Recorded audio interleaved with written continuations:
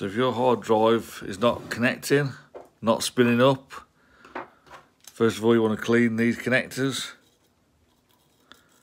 With the wire, I've got this like brass wire brush, this one's broke at the minute. We'll clean all these contacts up, contact cleaner, alcohol, and a brass brush.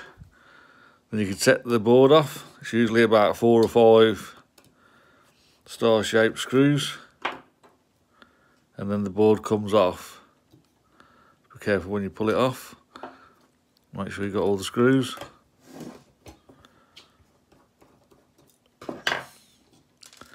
Then you're looking for the motor connector, which is there.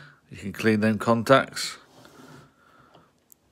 The motor connector on the board, which will be there.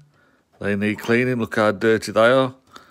There's a reason why your motor not, might not be working. Filthy. And then these connectors here for your, your heads.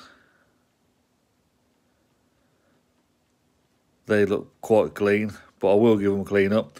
You can even put solder on them, but at first I'd just clean them, unless you know what you're doing.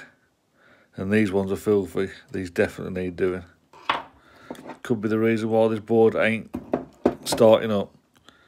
So I'll give it a clean and let's see if it works.